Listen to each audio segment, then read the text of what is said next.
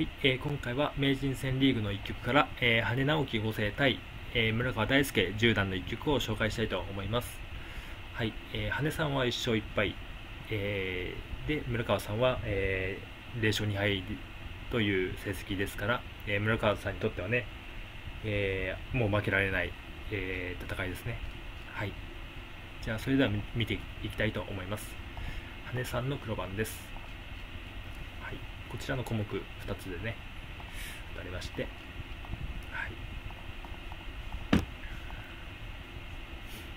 はい、これも最近は、まあ、単に開かずにね、小ゲーマとか、隅で頑張るっていう打ち方も多いですね。はい。ここも羽根さんは33でしょうか。そうですね。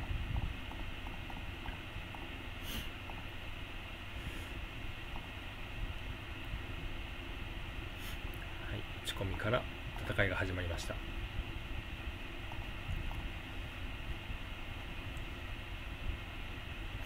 い。まあ、これも、えー手順ですからね、えー覚えておきたいところですね。はい、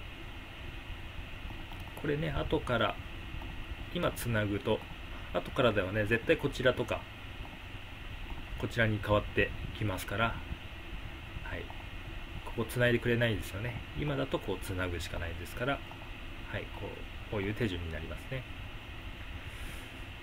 はい、これまあ一応出切りもあるので、こうこす、こすんで受けるような打ち方もあるんですけど、実戦は一応こちらで受けたような感じでしょうかね。うん、出切りに対しては、うん、そういう、うん、こちらで受けようっていう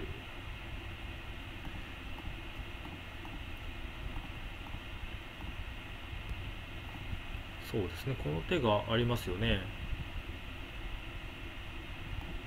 うん。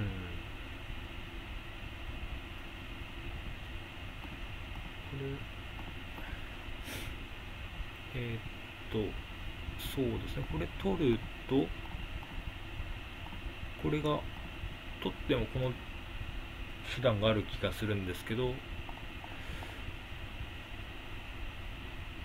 うん、取らないかったんですね。えーと、こうやるん、こうやると、これで、これは目あり目なしですね。だから、まあ、おそらく、こうやろうっていうことは、こうやろうっていうことですね。えー、ああ、そうやってから切るのか。なるほどね。うんでも、今はこちらが危ないですね。こちらが危ないので、えーそうですね、まあ、こうやって、まあ、これには常にこうですから、責任するにはこう打つしかないですね。うん、なるほど、こういうことなんですね。で、まあ、こっちで、あの、2手打てますから、なるほど、こういうからくりですかね。だから取らなかったと。実戦を単につなぎまして、あ、それでもこうですね。そうですよね。うん。なるほど。こういう、こうやって打つ打ち方もあるんですね。なので、ここにコスミ、コスミで打た打たれましたね。これは一応、石が残っている形ですね。はい。黒から打てば解消できますと。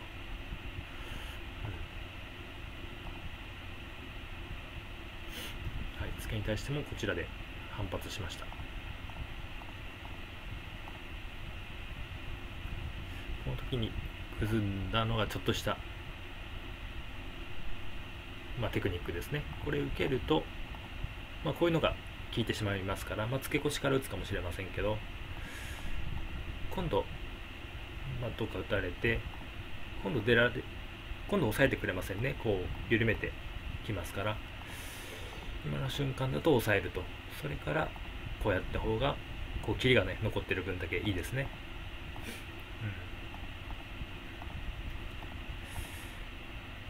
はい、これ出たいんですけど出るとこう霧が待ってますから、はい、そのためのかけ継ぎですね、はい、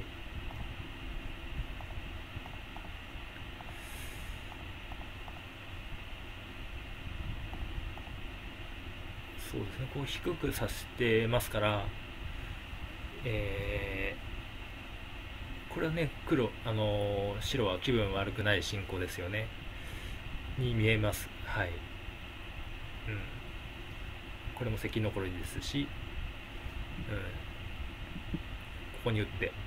うん、まあ、白の方がねムードがいい気がしますけどね。はい割り込みも鋭い。手です。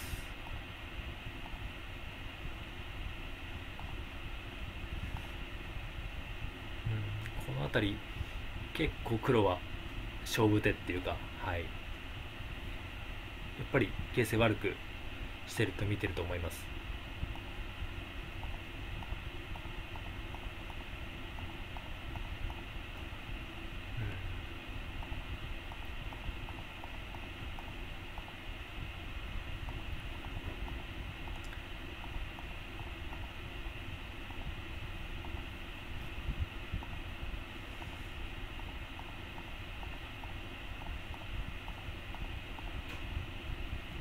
なんとか息ぐらいはありそうな気がしますけどね。はい。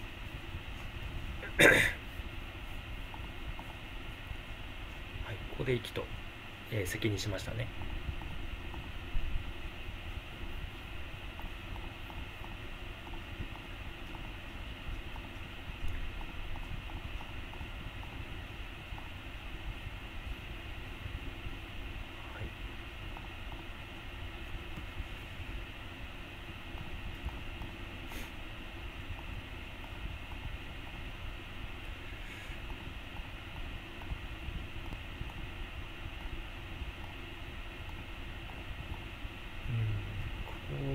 そうですね。こう2目取りを残して、えーまあ、なんとなくうまくやった印象ですけど。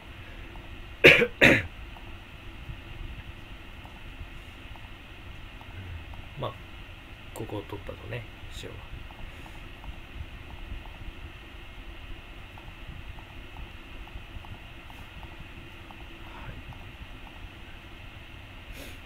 これもまたうん、大胆な変化ですけど、うん、さそうですか。さすがに切るのは、こっちの方方が大きいっていうことですね。はい。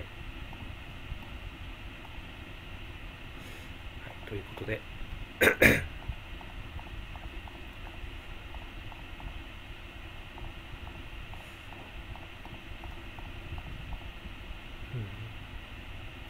うん、ここをうまく寄せまして、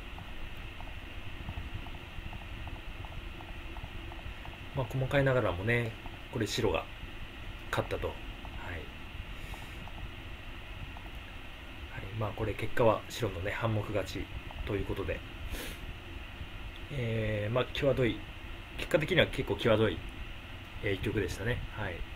まあ、よくこの後半目までいったっていうような、はい、感じのが強いですけど、まあ、実際はちょっと分かりませんけどね、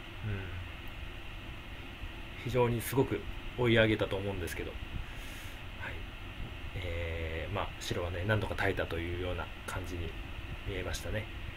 はい、やっぱりうんここの、えー、まあ面白い別れでしたけどね序盤、はい、工夫が見られたんですけど、はい。まあはい、えー、面白い一曲でしたね。はい。じゃあそんなところで、えー、終わりにしたいと思います。はい、それでは失礼します。最後までご視聴いただきありがとうございました。チャンネル登録の方もよろしくお願いいたします。